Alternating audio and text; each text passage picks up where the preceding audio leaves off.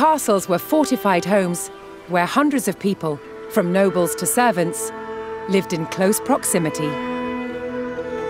Good sanitation was vital. Without it, conditions would soon become unbearable. Central to this was the latrine, known as the garderobe.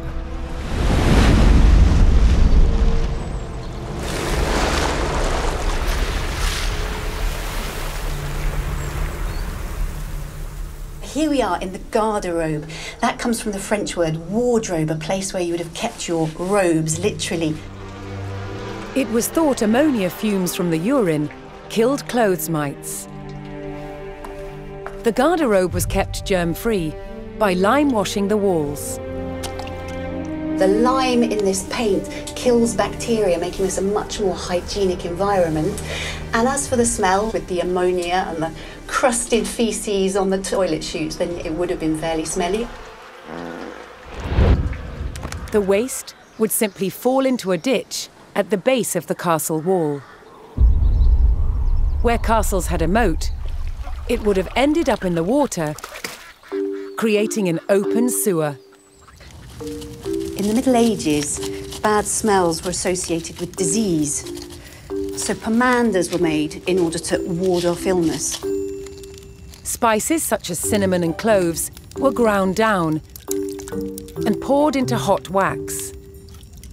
The wax and spices are then rolled together into a ball, and if you're using the garderobe and there are any nasty smells, you can just smell your pomander. Smells good. But there was a crucial item missing from the castle garderobe toilet paper. Instead, natural products were used. Moss. A nice soft leaf might do the job. Alternatively, raw wool. And for the more noble bottom, we have a muslin cloth, but that is the more expensive option.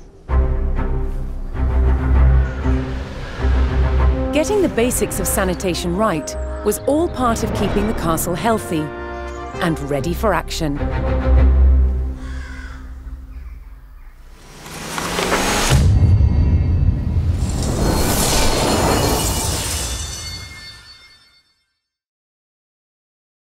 Play it day one with Game Pass for PC.